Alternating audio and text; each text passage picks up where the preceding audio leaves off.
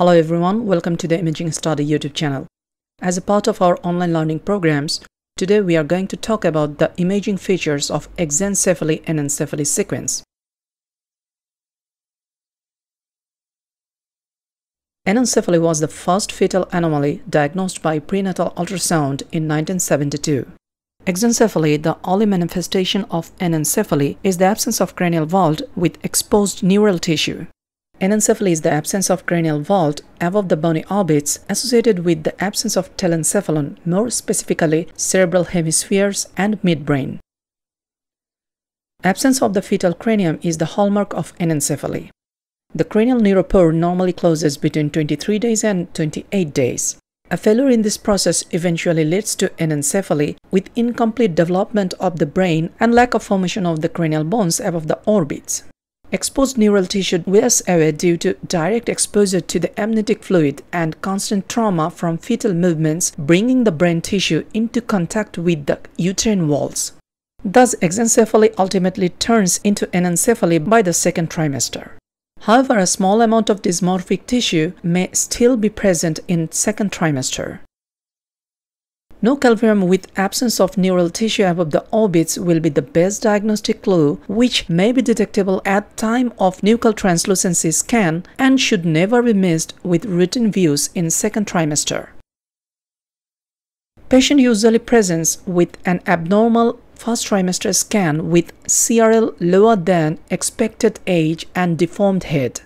Maternal serum alpha-fetoprotein is elevated. Polyhydramnios is a common finding. Now come to the ultrasound findings. In first trimester, neural tissue is usually present. Head contour is abnormal.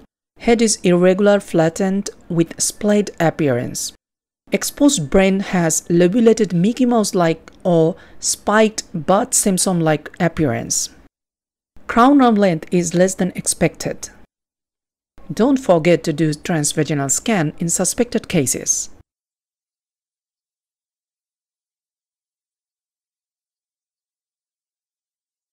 This sagittal ultrasound of a 13-week fetus with exencephaly shows no normal cranium and lobular exposed brain.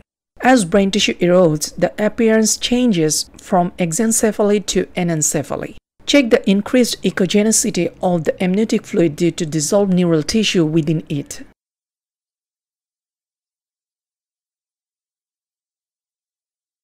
This transvaginal ultrasound of a first trimester fetus with exencephaly shows a flattened lobular appearance of the exposed neural elements. Recognition of the first trimester appearance of anencephaly is important for early diagnosis of this lethal malformation. In second and third trimesters, usually no soft tissue or definitely no cranial vault is seen above the fetal orbits. Cranial defect is covered by irregular angiomatous stroma known as area cerebrovasculosa. Fetal eyes appear proptotic due to shallow orbits and abnormally formed skull base. However, eyes themselves are normally formed. In coronal plane, face shows a frog-like appearance. Cleft lip or cleft palate may be seen, so don't miss that. Other neurologic defects like spina bifida, especially at the cervical region, and lumbar myelomeningocele are commonly seen. Due to impaired swallowing, polyhydramnios is common. Amniotic fluid becomes echogenic usually due to dissolved neural tissue. This is a second trimester fetus. The neural tissue has worn away and there is no anencephaly. There is marked proptosis of the eyes and near complete absence of neural tissue above the orbits.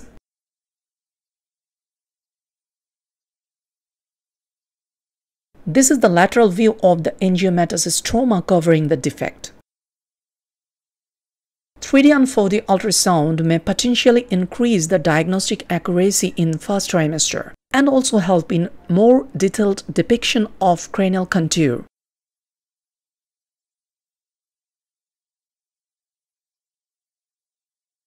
This 3D surface reconstruction of a 13-week fetus with exencephaly shows no cranium and a splaying of remaining brain tissue above the orbits.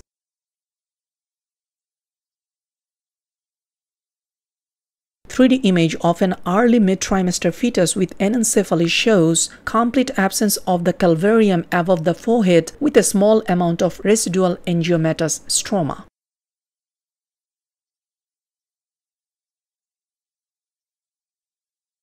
3D image of a first trimester fetus shows not only anencephaly but also an extensive open neural tube defect of the cervical spine. Spina bifida, especially cervical, is often seen with anencephaly, both a result of failure of anterior neuropore closure. Coronal image of fetal frog-like face demonstrating absence of the forehead and cranium above orbits.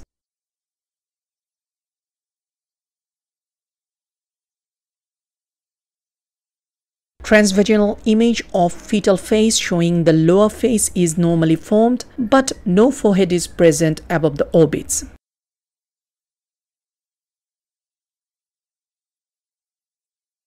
This sagittal fetal image shows the absence of fetal cranium and brain above the orbits.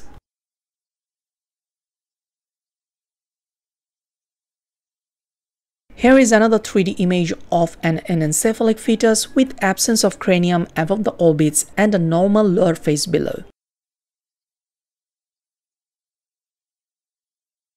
MR imaging is not needed to diagnose anencephaly.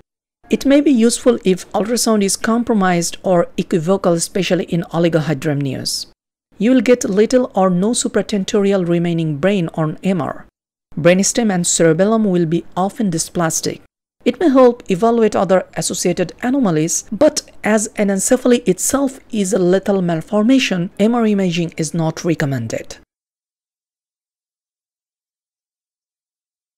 Thank you for watching this video. Don't forget to subscribe this channel for the next ones. Have a nice day.